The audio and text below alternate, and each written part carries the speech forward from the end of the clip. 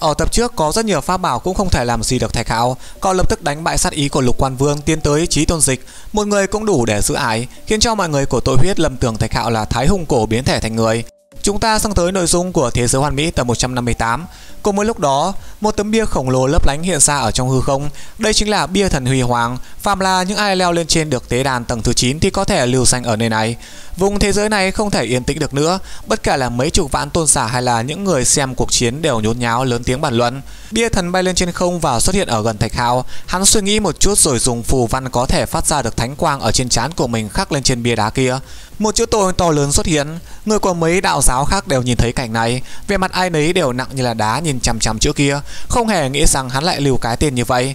Đây chính là vinh quang, đây chính là công lao và cũng chính là huy hoàng, sớm muộn gì cũng sẽ phơi bày dưới ánh mặt trời. Trên bia đá còn có một vài cái tên khác, đều là cường giả lấp lánh khắc vạn cổ từ xưa tới nay, có thể có mấy người giờ đã là bá chủ một phương, cũng có người sớm đã chôn xương từ mấy chục vạn năm trước.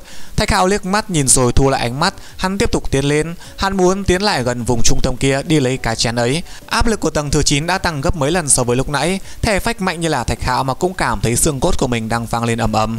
Theo các này, hắn giống như đang vác cả bầu trời trên lưng vậy. Thế nhưng khiến người khác khiếp sợ chính là từ trước tới giờ hắn chưa hề dừng chân nghỉ ngơi, bước chân vẫn nhịp nhàng không hề thay đổi, một đường hướng về phía trước. Đây có thể nói là một hành động vĩ đại. Rất nhanh, Thạch Hạo đã tới được nơi trung tâm. Ở trong hư không đang lơ lửng một chiếc chén đá, ở bên trong có chất lỏng vô cùng lấp lánh gần như là tràn hết cả ra bên ngoài. Bàn tay của Thạch Hạo khi mà chạm phải chiếc chén đá thì liền cảm nhận được một luồng mát mẻ, đồng thời khí lạnh phồn thịnh sáng vạn tia bao phủ nơi này, sáng rực và thần thánh vô cùng. Một tấm bia đá là hiện ra và ghi lại tất cả những chuyện này. Thạch Hạo lần nữa được lưu danh, bởi vì dù cho có mấy người đã tiến được tầng thứ 9, thế nhưng cũng không cách nào có thể tới đây được. Cuối cùng chỉ biết ngã quỵ nằm dưới mặt đất và đánh rớt khỏi thế đàn. Thạch Hạo đã thành công thẳng tiến tới đích cuối cùng. Thạch Hạo nắm lấy cái chén rồi lay thật mạnh. Việc này khiến cả hư không rung rẩy kèm theo là từng luồng hào quang sáng chói. Rốt cuộc thì hắn cũng đã nắm lấy chén đá rồi đưa lên trên mép miệng. Một đám ký tự óng ánh xuất hiện khắc ở trong hư không, giảng giải về lịch sử của trí tôn dịch. Dịch này chính là dấu ấn của thánh thần, tinh hoa của linh giới ngưng tụ mà thành, hạ xuống từ trong hư không, biết bao nhiêu vạn năm mới có thể đầy một chén này. Thạch Hạo chấn kinh, thứ này ẩn chứa đạo của các thần, là dịch thần thánh để luyện nguyên thai dưỡng thần, thậm chí có thể giúp nguyên thần biến hóa, bỏ đi lớp da giá, sinh ra thánh thai. Thạch Hạo không hề do dự há miệng uốn can, thế nhưng cũng không có luyện hóa mà giữ thứ này ở bên ngoài nguyên thần, hóa thành một chùm ánh sáng vô cùng lóa mắt. Một hàng chữ lại xuất hiện nói cho Thạch Hạo biết, sau khi đạt được dịch này thì sau này sẽ không thể tới đây thu chén trí tôn dịch thứ hai được nữa, chỉ có cơ hội duy nhất mà thôi. Thạch Hạo cũng không quán như vậy là đủ lắm rồi. Dừng lại trong vài giây, sau đó Thạch Hạo nhảy lên rời khỏi cổ đàn trí tôn. Lúc này mặt đất rung chuyển, Thạch Hạo giống như là một vị ma chủ đáp xuống mặt đất, tóc đen tung bay, ánh mắt như điện. Lần này thì thu hoạch rất lớn, toàn bộ đều đã chuẩn bị kỹ càng, chỉ còn chờ việc tiến vào khu vực rộng lớn không người kia nữa mà thôi. Đột nhiên Thạch hào cảm thấy nguy hiểm lạ thường, có việc không tốt sắp sửa xảy ra.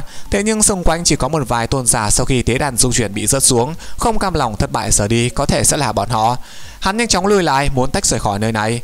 Từng vết sáng phủ kín tới đây, chói mắt tới cực điểm, nguy hiểm tới mức khiến người khác sợ hãi. Đây chính là một pháp luân đang hóa thành một màn ánh sáng phong tỏa lại phạm vi 10 trượng trong không gian. Bên trong không gian có hạn này lại có những bí bảo cấm kỵ đầy đáng sợ bay lượn phải tới mấy trăm cái. Không gian nhỏ hẹp này trở nên chật ních. Muốn tránh thì cũng tránh không thoát. Thạch hạo biến sắc, những thứ này đều là đại sát khí, có thể giết chết người trong linh giới này. Năm đó khi mà hắn ở trong hư thần giới thì cũng từng thử qua. Những thứ này không thể nào đụng vào được. Một khi dính vào cơ thể thì tinh thần sẽ suy kiệt, sau cùng sẽ tan vỡ, mà trong thế giới thực thì cũng sẽ chết đi. Đáng sợ nhất chính là những thứ này đều nổ tung ở trong không gian thu hẹp này. Sợ còn lợi hại hơn rất nhiều so với những đồ cấm kỵ của hư thần giới kia nữa. Tất cả đều bắn về phía của hắn. Thạch Hạo hét lớn, cánh côn bằng hiện ra, luân hồi quyền dung trời, bao thật lôi đế ngang trời đan xen vào nhau, thánh quang chói mắt như là mặt trời nổ tung, không một ai biết trong này đang xảy ra chuyện gì. Mãi tới một lúc sau tiếng nổ vàng phát ra, pháp luân kia nổ tung, trận pháp mà giáo chủ vô thượng luyện chế đã bị phá tan, nhưng đại sát khí ở bên trong đều hóa thành một mịn. Đầu óc của Thạch Hạo rối tung thế nhưng trên người cũng chẳng hề có một chút vết thương nào, ánh mắt cực kỳ là lạnh lẽo, bụp một tiếng, hắn chụp lấy vài tên tôn giả đang muốn bỏ chạy kia, một lời chẳng nói cứ thế mà tìm lục soát ký của bọn họ. Sau một khắc, Ánh mắt của hắn sáng rực, sát khí ngập trời. Nơi đây bạo động tất cả mọi người đều há hốc miệng. Thiếu niên này quá là khủng bố. Nơi này có thiên thần đấy. Hắn lại dám giết tới như thế. Đúng vậy, mọi người chợt tỉnh ngộ. Ở đây thiên thần cũng phải bị hạn chế. Đây quả thật là một tên nóng tính. Tức giận là muốn giết thần. Tất cả mọi người đều vô cùng chấn động. Cặp mắt đăm đăm nhìn tất cả những việc ở phía trước. Một cú bật nhảy là cao tới vạn trượng. Thạch Hạo cứ như là một ngôi sao trổ ập tới. Chỉ một cái chớp mắt thì Thạch Hạo đã vù giết tới ngay trước mặt. Hắn thoáng dừng lại, đảo qua trong đám người này rồi tập trung về một vài thiên thần linh ở bên trên ống tay áo của những người này đều có khắc những tiêu chí riêng của đạo thống mình có nên rất dễ dàng nhận biết. Hiển nhiên hắn nhắm về đám môn phái của Hỏa Vận Động, Yêu Long Đạo Môn và La Phủ Chân Cốc. Lúc này, đừng nói là người trong cuộc, dù là những người không có căn hệ tới thì tóc gáy cũng dựng đứng. Ánh mắt của thiếu niên này quá là ngông cuồng, cứ như là mặt trời nhỏ vậy. Không ít người của Hỏa Vận Động, Yêu Long Đạo Môn tái mặt, đặc biệt là một vài cường giả thần hòa cảnh. Giờ phút này bọn họ cảm thấy giống như là bị một con cự thú tử hồng hoang khóa chặt lấy bản thân vậy.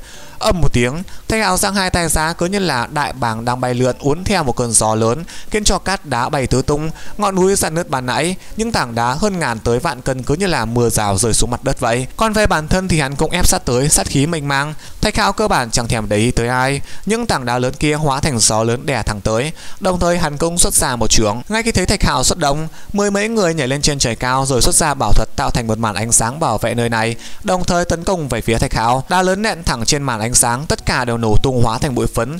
Thế nhưng một trưởng sát theo đó của Thạch Hạo lại không hề đối phó dễ dàng như thế. Hơn phân nửa nhóm người này đều là cường giả thần hóa, còn có một vài thiên chân thần, tất cả đều gặp phải áp chế cực kỳ lớn. Thân thể của mấy người này run bần bật, nhưng bảo thuật xuất ra để bị đánh tan, bản thân thì cứ như va phải thần sơn mà ho ra đầy máu, bay ngược ra phía sau.